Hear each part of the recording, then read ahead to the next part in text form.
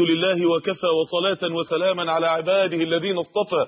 اللهم لك الحمد كله ولك الملك كله وبيدك الخير كله وإليك يرجع الأمر كله. ثم أما بعد وإحنا بنقاتل اليهود وإحنا بنحارب اليهود وإحنا بنبذل دمنا في مواجهة اليهود. لازم نعرف يا أمة محمد إننا بنحارب أجبن الناس على وجه الأرض. من الأخبار اللي موتت الواحد على روحه من الضحك إن الجنود اليهود وهم داخلين الدبابات عشان يحاربوا بياخدوا معاهم حفاظات البامبرز يا جماعة. ليه بياخدوها معاهم؟ لأنهم بيترعبوا انهم ياخدوا حاجتهم بره الدبابة من المجاهدين بتوع مجاهد الأرض المقدسة فبيضطروا إن هم يستعملوا البامبرز داخل الدبابات. جبناء جبناء احد الاسرى المسلمين لما اسروه حطوه في عربيه مقيدين ايديه ورجليه لرقبته مع 11 جندي يهودي بالرشاشات.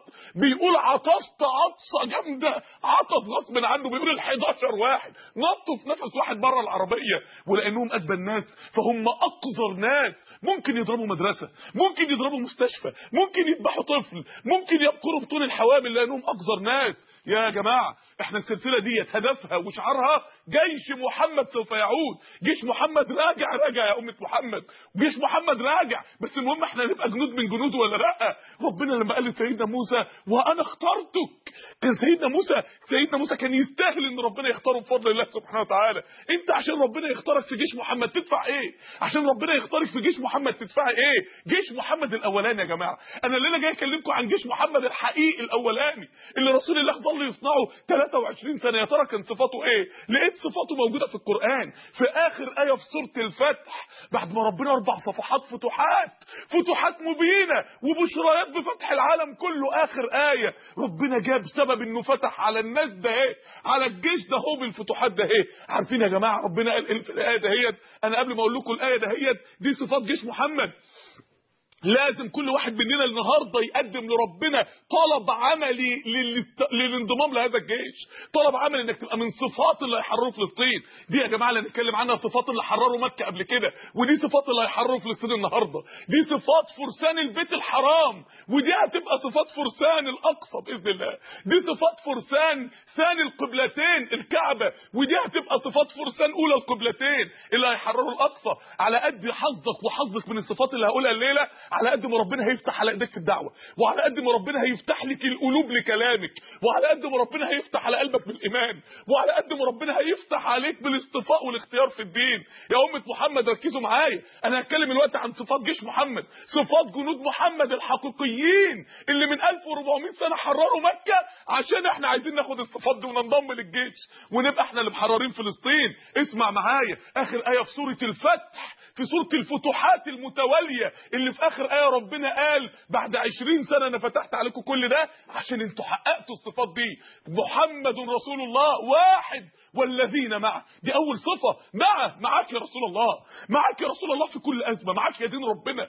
مع الإسلام في كل أزمة. لا يمكن تشوف أزمة للإسلام ما تشوفوش فيها. لا يمكن تشوف موقف الإسلام محتاج نصرته وما يقفش فيه. والذين معه. دي مش كلمة. أنا مع الدين. كل ما هتشوف مشكلة للدين هتشوفني. وكل ما تشوفني هتشوف الدين. أنا عايز أسألك. أنت فين؟ انت فين؟ إحنا ما شفناكش في الأزمة دي ليه؟ ما شفناكش مع اللي بيجروا يدعوا الناس ويفوقوهم ولا شفناك مع اللي واقفين على المعابر مستنيين يدخلوا معونات ولا شفناك مع اللي بيلموا تبرعات عشان يودوها لفلسطين ولا شفناك مع اللي بيجاهدوا هناك مع المجاهدين ولا شفناك مع اللي واقفين في الثلث الأخير بيقولوا يا رب يا رب انصر إخواننا في غزة يا رب. انت فين؟ ما شفناكيش ليه؟ ما شفناكيش غير على شاشات التلفزيون. بتتفرجي على اللي بيحصل ليه؟ أنتوا مش سامعين. أمال أنتوا فين؟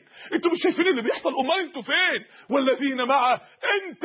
هينطبق عليك والذين معه. لو ربنا نزل جندي من السماء الوقت وسألك انت من اللي معاه ولا لأ؟ انت من اللي مع دين محمد ولا لأ؟ والذين معه يا جماعة إبراهيم لما جه يغزو الكعبة ربنا نزل طرق ابابيل نسفته.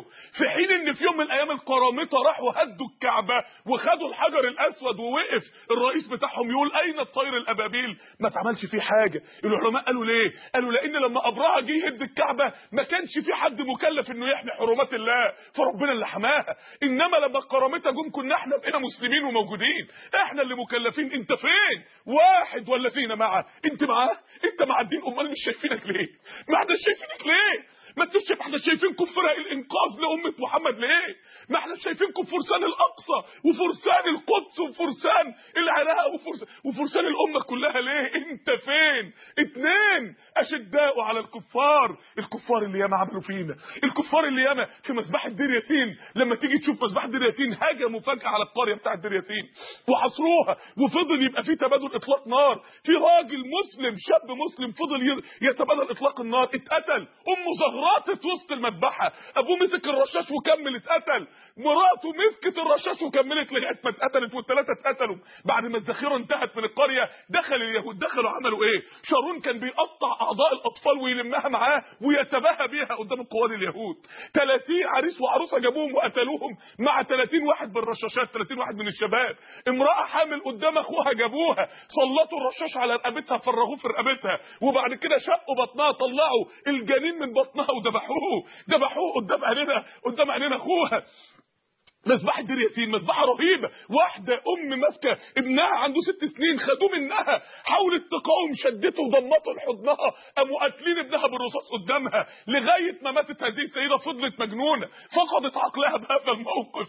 الأمهات كانوا بيغتصبوا النساء وبعد كده يجيبوا أطفالهم قدامهم بعد ما اغتصبوهم ويذبحوا الأطفال ويقتلوهم. أشداء على الكفار. الكفار اللي ياما عملوا فينا. الكفار اللي ياما قتلوا فينا. كل ده عشان أجبى الناس وأقذر ناس. قال تعالى يا أيها الذين آمنوا أطيعوا الله ورسوله ولا تولوا عنه وأنتم تسمعون ولا تولوا عنه وأنتم تسمعون. سمع اللي بيحصل لإخوانك سامع. أمال أنت فين؟ سمع استغاثتهم سمع. أمال أنت فين؟ شايف اللي بيحصل على الشاشات زي ما اتصلنا بالمرأة الفلسطينية قالت أنتوا مش شايفين اللي بيحصل لنا؟ شايفين! أمال أنتوا فين؟ ولا تولوا عنه وأنتم تسمعون ولا تكونوا أنتوا سامعين الصراخ والاستغاثات وشايفين الجرحى والقتلى والمذبوحين. أنتوا فين يا امة محمد؟ إحنا بقينا فين يا جماعة؟ إحنا في غيبوبة يا جماعة. إحنا لا في صفوف المجاهدين ولا في جنود الدعاء ولا في جنود اللي بيوفقوا الناس ولا في جنود اللي بيجيبوا تبرعات. ولا شفناك بتتبرع بدمك وبتجيب قوت يومك عشان تديهولهم. أمال إحنا فين أشداء على الكفار. ولا تولوا عنه وأنتم تسمعون. ولا تكونوا كالذين قالوا سمعنا سمعنا وهم لا يسمعون. إن شر الدواب عند الله الصم البكم. ربنا قال اللي هيشوف أحوال دينه أحوال دينه. وما يقومش عشانها زي البهائم. بل شر الدواب. أشر من الدواب كمان. أشر من البهائم كمان. إن شر الدواب عند الله الصم البكم. الذين لا يعقلون. أشداء على الكفار. أنت شديد على الكفار. فين الشدة دي؟ إحنا شداد في الهتافات. شداد في التصريحات. إنما الشده على الكفار فين الشده على الكفار يا جماعة؟ عندليب البنت الفلسطينية الصغيرة كان عندها 20 سنة. لسه يومين وتبقى عندها 20 سنة. بدل ما تحتفل بعيد ميلادها صحت الصبح يوم الجمعة الصبح عملت فنجان الشاي لأمها وقالت لها يا أمي أنا الليلة هيجي ناس يخطبوني. خدي بالك منهم اهتمي بيهم استقبلوهم كويس. أمها مش فاهمة قصدها إيه. قالت لها يا بنتي طب والناس دول مين؟ قالت لها دول هتفرحي بيهم قوي هدول هم اللي هيحققوا لي حلم حياتي النهارده. وخرجت عندليب وكان آخر كلمات قالتها لامها وسمعتها امها منها هذه الكلمات. آخر ليلة قضتها مع أخواتها الستة اللي منهم أخ عنده مرض مزمن وقعيد ما يقدرش يعمل حاجة. زي ما كانت عندليب شايلة مسؤولية أسرتها وبتشتغل بإيديها عشان تجيب لهم ولأخوها القعيد ولأخوها المريض. تجيب لهم رزقهم. كان بالظبط شالت هم أمتها وقررت عندليب إن هي تضحي بشبابها. عندليب قررت إن هي تعمل عملية استشهادية من أجل دين الله سبحانه وتعالى. عندليب لا كان همها إن هي تتجوز ولا همها زوج يحبها وتحبه ولا خطيب يسعدها وتسعده ولا أولاد وبنات يملوا عليها حياتها. كانت كل شعره في حياتها عاوزاك أنت يا رب عاوزاك أنت يا رب اللهم خذ من دم اليوم حتى ترضى. وتخرج عن دليل ويكون نتيجة العملية الاستشهادية بتاعتها 90 يهودي مقتول ومجروح. وتقابل ربنا سبحانه وتعالى وجسمها كله ممزق أنا متخيل يوم ما تقابل ربنا وجسمها إشلاء ربنا يقول لها أمتي عندليب لما فعل بك هذا. فتقول فيك يا رب فيك يا رب. أشداء على الكفار. فين شدتنا؟ فين الشدة العملية؟ ثلاثة رحماء بينهم. يا الموقف ده نازل في صلح الحديبية لما أبو جندل أسلم وأبوه أيده في القيود ومشي فك القيود بتاعته وجري جري على المسلمين وهم واقفين على أطراف مكة عايزين يدخلوا والمشركين منعينهم رمى نفسه وسطهم قال لهم أتتركوني؟ وردوا إلى المشركين يفتنوني في ديني. أنتوا فين؟ أبو جندل صرخ وسطهم أنتوا فين؟ إحنا بنتعذب في مكه إحنا بنفضل في ديننا في مكة. الصحابة كانوا هيتجننوا. الصحابة كانوا هيفقدوا صوابهم عمر بن الخطاب وقف يتكلم مع النبي بغضب. عمر عمر الصديق وقف يتكلم مع النبي بغضب. الصحابة بيقولوا لو استطعنا أن نرد على رسول الله امرا لرددناه ما قدروش يستحملوا ليه؟ أشوف أخويا كده وأسكت. إزاي؟ إزاي؟ أبو جندل يا جماعة الصحابة صمموا إنهم يدخلوا مكة يقتلوا والنبي هو اللي منعهم تقتلوا يعني إيه؟ أنتوا عارفين يعني إيه قتلوا في مكة؟ مكة دي الأرض المقدسة بتاعت العرب. مكة ديت لو جينا ندخل العرب كلها هتشيل سيوفها ومئات ألوف العرب هنلاقيهم الوقت واقفين قدامنا؟ وماله؟ ليه؟ أخويا! أخويا ما سيبوش يتعذب. أخويا بس ده فرد واحد. ده دول مش 4000 قتيل وجريح جثثهم قدامنا ال 4000 جثث ال 4000 قدامنا لا ده أخويا أخويا ما سيبوش. يا جماعة ده, ده مسلم واحد. عثمان بن عفان لما وشعوا انه قتل لما دخل مكة يوميها الصحابة بايعوا الرسول على الموت. تموتوا؟ آه رقبته تطير بس أخويا ما يتقتلش. أخويا ده مسلم واحد. أخويا رحماء بينهم. رحماء بينهم ألست أخي. أمال أنت فين؟ أنت مش أخويا أمال أنت فين؟ اللي بيقول بقى ارضهم فين؟ الرحمة اللي في قلبك. اللي بيقول وأنا مالي فين؟ الرحمة اللي في قلبك. اللي قاعدة كل همها دنيتها وشغلها فين؟ الرحمة اللي في قلبك. الشباب اللي مشغولين عن غزة وعن نصرتها فين؟ الرحمة اللي في قلوبكم رحماء بينهم. ثلاثة رحماء بينهم. أربعة تراهم ركعا سجدا. تراهم ركعا سجدا. كل ما تشوفهم تلاقيهم بيعبدوا ربنا. فين العباده بتاعتنا يا جماعة أكتر صفة تبخذ قلبي في, في الايه أهي تراهم ركعا سجدا أنت المفروض كل ما أشوفك ألاقيك يا إما صايم ورايح تفطر يا إما قاعد تذكر ربنا ليل نهار يا إما ماسك القرآن وبتقرأ يا إما واقف في ركعة النفل بتبكي يا إما بتتوضأ يا إما رايح توصل حاجة للفقراء يا إما شغال في الدعوة تراهم ركعا سجدا كل ما تبص لهم تلاقي العبادة. فين عبادتنا يا أمة محمد؟ إحنا فين؟ من المساجد والمحاريب. إحنا فين؟ إحنا فين يا جماعة؟ الصحابة كان كل واحد في بيته مسجد. مسجد يعبد ربنا فيه زي المساجد العامة.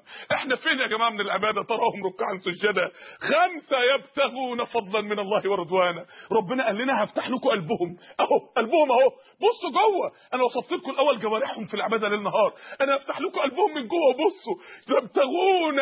هم عايزين إيه؟ هدفهم إيه؟ عايشين ليه؟ عايشين ليه كل قضية حياتهم إيه؟ يبتغون فضلا من الله ورضوانا. كل قضية حياتهم زي قضيه عندليب بس انت ترضى. بس انت ترضى. خد من دم لحد ما ترضى يا رب. خد من حياتي لحد ما ترضى يا رب. خد من عمري لحد ما ترضى يا رب.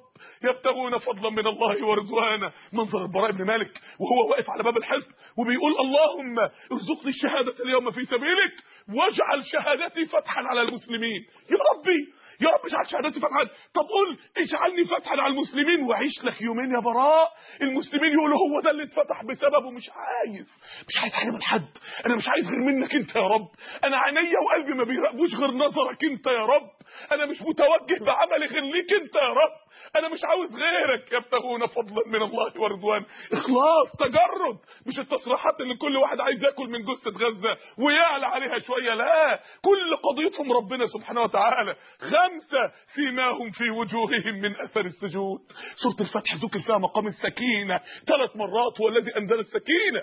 أنزل السكينة. السكينة يا جماعة. إذا أنت لم تسجد من ايدين ربنا بتبقى أقرب ما تكون إلى الله. بتقرب من الملك. بتتصل بيه. بتحس هو قادر قد إيه. مهيمن قد إيه؟ وشك بيترسم عليه السكينة اللي في قلبك. لما ت... يا جماعة ده لو في طيارة طيارة انطلقت أو صاروخ بسرعة الضوء. عشان توصل لطرف الكون المرئي محتاجة 36 مليار سنة. 36 إسرائيل إيه؟ ويهود إيه؟ وبني إسرائيل إيه في ملك الله؟ يا جماعة جنود ربنا والإيمان بالملائكة. ده ملك واحد من السماء بس صوته. وما أنزلنا على قومه من بعده من جند من السماء.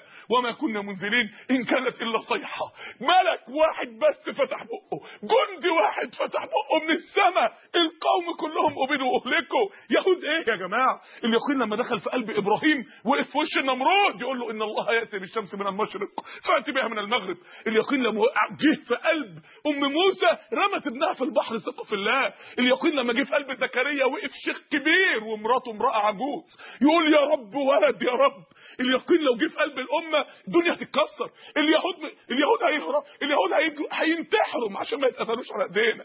اليقين يا جماعة سيماهم في وجوههم من أثر السجود. إحنا أثر السجود عمل فينا إيه؟ أثر سجودك عمل فيك إيه؟ أثر ركوعك عمل فيك إيه؟ أثر قراءة القرآن عملت فيك إيه؟ يا جماعة إحنا عباداتنا مش مثمرة ليه؟ لأن إحنا بنعبد إله مش عارفينه. إحنا مش عارفين بنعبد مين. عارفين يعني إيه سيماهم في وجوههم من أثر السجود؟ مهما الواقع ظلم مهما الأزمة جت مهما الدنيا اجتمعت عليهم سكينه السكينة اللي في قلوبهم جاية على وشهم. اسجدوا يا أمة محمد.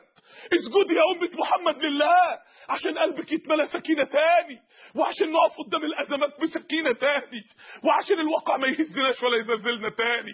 أنت فين؟ أنت فين؟ إحنا فين يا جماعة؟ والذين معه واحد اتنين أشداء على الكفار فين الشدة العملية؟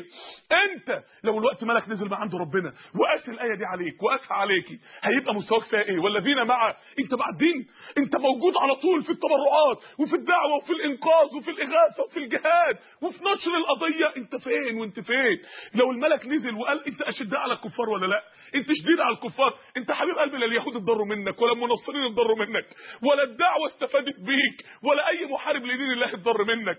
ثلاثة رحماء بينهم. إنت فين رحمتك؟ فين رحمتك؟ فين الترجمة العملية لرحمتنا تجاه إخواننا؟ أربعة يبتغون فضلا من الله تراهم ركعا سجدا. أنت على طول عبادتك. فين عبادتك؟ فين سجادة فين قعدتك على السجادة تصلي لله؟ فين منظر القرآن في إيدك ليل نهار؟ فين ذكر الله على لسانك؟ فين عبادتنا؟ يبتغون فضلا من الله ورضوانا. قلبك كده قلبك كل هم رضا ربنا. قلبك كل هم رضا ربنا. سيماهم في وجوههم من أثر السجود. عبادتك عبدت ربنا وانت عارف مين ربنا. فعبادتك أثمرت على وشك سكينة وفي حياتك سكينة. يا جماعة يا جماعة إحنا مليار و200 مليون أو مليار و400 مليون.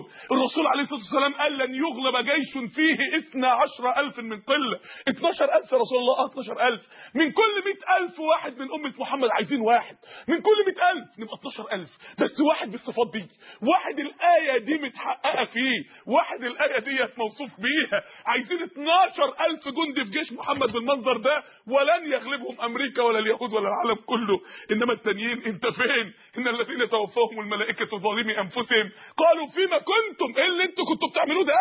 أنتوا كنتوا فين؟ انت كنت مع الرايجه وانت كنت مع الفلوس وانت كنت مع مراتك مع مطرح ما مراتك تحب توديك وانت مع مصالحك وانت مع الدنيا وانت مع الشهوات. مين اللي كان مع ديني مين اللي كان مع عقيدته؟ مين اللي كان مع نصرة الإسلام؟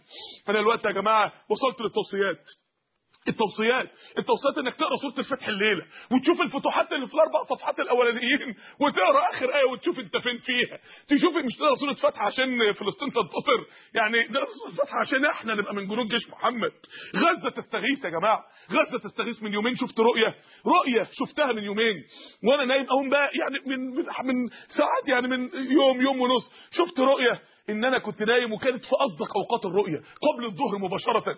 شفت رؤية إن أنا رايح بيتي مروح بيتي. لقيت واحد جاري عنده ميتم واقف على باب البيت ووشه كله حزن. أنا طبعا حسيت بالخزي والعار إيه ده؟ إزاي؟ جاري يبقى عنده ميتم طب أنا كنت فين؟ وبالتاكيد اللي مات ده زمان وراح مستشفى وكان عايز علاج وكان عايز نقل دم وكان عايز وأنا ما أعرفش أي حاجة. أنا كنت فين؟ سبحان الملك حسيت بالخزي وبعد كده قلت لا لا أروح أعزيه. لقيت في كراسي عزاء قدام البيت عدد قليل قوي اللي قاعد فيها. المقصد من غير تفاصيل الرؤى لقيته بيبص لي بصة فيها زعل قوي بصة قريت فيها كلمة أنت كنت فين؟ بصة قريت فيها كلمة أنت جاي بعد إيه؟ حسيت بعد ما صحيت يا جماعة إن الراجل ده رمز الغزة. حتى اسمه بدون تفاصيل الرؤية جاي بالظبط مع غزة. رمز اسمه ده جاي رمز الغزة. أو الراجل ده رمز الغزة. والمعزين القليلين دول إن الأمة معظمها أصلا حتى مش عايزة تعزي. وإنه زعلان ليه؟ لأن ما جتش غير بعد ما بقت معزة. ما فوقناش غير بعد ما غزة بقت مقتلة. ما فوقناش غير بعد ما بقت معزه أنتوا فاكرين إن فرسان الأقصى والإسلام يستغيث والبرامج اللي كثير من الدعاء بيعملها؟ إن إحنا كده بننصر غزة إحنا يا جماعة بنرطم في الميتم. إحنا جايين بعد ما بقت ميتم. جايين بعد ما بقت معزه غزة بقى لها سنتين متحصره بقى لها سنتين بتتجوع بقى لها سنتين بيقتلوهم قتل بطيء وبيعدموهم إعدام بطيء. إحنا كنا فين؟ كنا فين لما كانوا بيعدموا إخواننا إعدام بطيء؟ لما بقت مقتلة 4000 و5000 قتيل وجريح قمنا نصرخ قمنا نقول انقذوا غزه انقذوا إيه؟ ماتت. مات الناس اللي فيها ولكن إن شاء الله الله قادر سبحانه وتعالى إنه يحييها. الله قادر ان هو سبحانه وتعالى يجعلها عصب للإسلام في العالم كله. حسيت إن الرؤية دي عتاب لينا كلنا والله يا جماعة. إن أنتوا جايين بعد ما بقت معزة. لا إحنا عايزين الوقت نجيب آخرنا. مش عايزين نطلع مجرمين.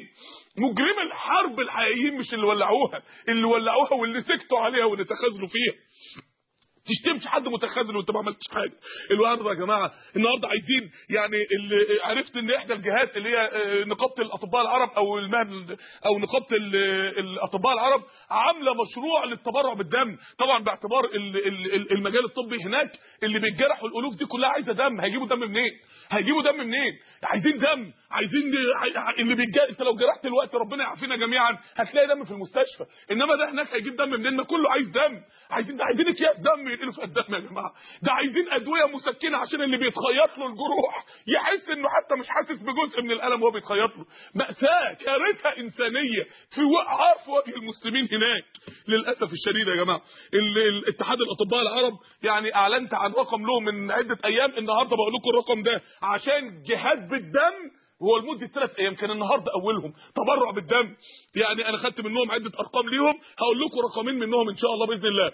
رقم قلت لكم قبل كده 0 10 400 21 21 ولكن الرقم ده بيبقى مشغول في أحيان كتير جدا. 0 10 400 21 21 عايز صبر. الرقم الثاني يعني نصبر شوية عما عما الخطوط يعني يعني توصل. 0 100 0 100 76 8 76 5 0 100 76 8 76 5 ده خط وده خط. نكتب ده ونكتب ده. لو عايزين رقم ثالث يعني بس رقم أرضي بقى للي عايز يتصل.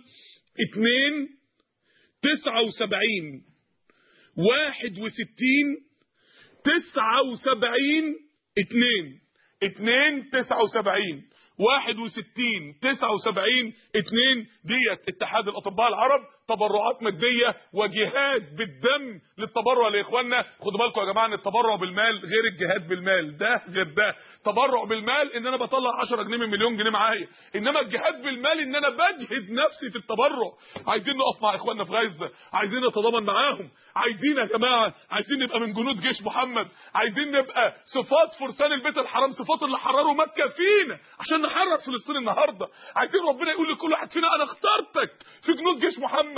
وأنا اخترتك في جنود جيش محمد. أنا اخترتكم في الجنود. مين يا جماعة اللي هيبقى من فرسان الأقصى؟ مين اللي هيحقق الصفات اللي ربنا يصطفيه بيها إنه يبقى من فرسان الأقصى يا جماعة؟ مين يا إخواني؟ مين يا جماعة اللي هيحقق المعدل ده إيه؟ مين اللي هيبقى هيحقق آخر آية موجودة في في آخر آية موجودة في سورة في سورة الفتح. إحنا دلوقتي يا جماعة كلمتكم عن رقم غزة ان أنا اديتكم الكود بتاع غزة عشان نكلم إخواننا في غزة. الوقت إحنا نتكلم مع حد من إخواننا في غزة فعلا على الهوا. بإذن الله ككلام عملي وتنفيذ عملي قدامكم إن شاء الله. لو في اتصال نكلم إخواننا في غزة. الكنترول. السلام عليكم. السلام عليكم يا أخي. السلام ورحمة الله وبركاته. أهلا وسهلا. عاملين إيه في مصر يا أخي؟ أهلا وسهلا. أخونا في غزة. أيوه والله إحنا في غزة يا أخي إحنا أوضاعنا لا تسر أي حد هنا. ربنا ينصركم يا رب الأحوال إيه عندكم؟ والله بس يا ريت تعلي صوتك بس. حاضر يا أخي الأحوال هنا والله ما تسر حد. هنا أحوال صحية أحوال مادية أي حاجة ما فيش أي حاجة عندنا. هنا الأحوال يعني بمختصر لا تصلح للمعيشة. هنا الأحوال الصحية بالذات يعني آه، خليني أقول آه، فيش أقل مقومات الغذاء هنا في غزة. لا حول ولا قوة إلا بالله. لا حول ولا قوة إلا بالله. طيب يا إخواني طب أخبار المعارك مع اليهود إيه؟ والله يا أخي برضه المعارك استشرفت عندنا في غزة يعني ما فيش حارة إلا فيها حاجة مدمرة. لا هنا الطيران الإسرائيلي ما بيسكتش عن الهواء عندنا في غزة يعني خليني أقول ال- الهواء في غزة يعني تجرب عليه كل طائرات يعني أي شيء يخطف بالك طب وأخبار الحرب مع الدبابات إيه؟ والله يا أخي يعني وصلوا يعني منتصف غزة لقيت يعني. وصلوا. منتصف غزة.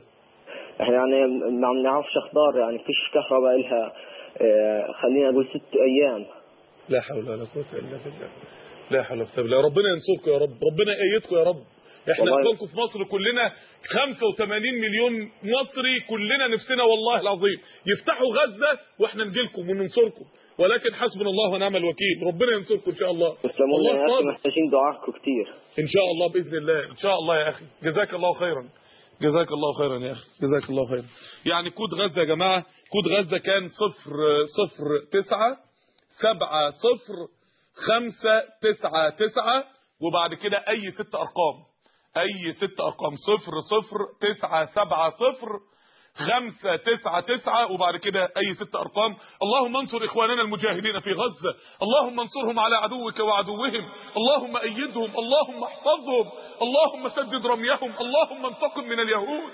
اللهم اشف صدور قوم مؤمنين. اللهم اسمعنا عن إخواننا خيرا. اللهم إنهم جوعانين فأطعمهم. اللهم إنهم وراء. فاكسهم. اللهم احملهم. اللهم انصرهم. يا رب اللهم انصر من نصر الإسلام والمسلمين. واخذل من خذل الإسلام والمسلمين. اللهم انصر من نصر إخواننا في غزة. واخذل من خذلهم يا رب العالمين. اللهم أذن لدينك أن يسود وأذن لشرعك أن ينتصر وأذن لكتابك أن يحكم برحمتك يا أرحم الراحمين. أقول قولي هذا وأستغفر الله لي ولكم. سبحانك اللهم وبحمدك أشهد أن لا إله إلا أنت أستغفرك وأتوب إليك وجزاكم الله خير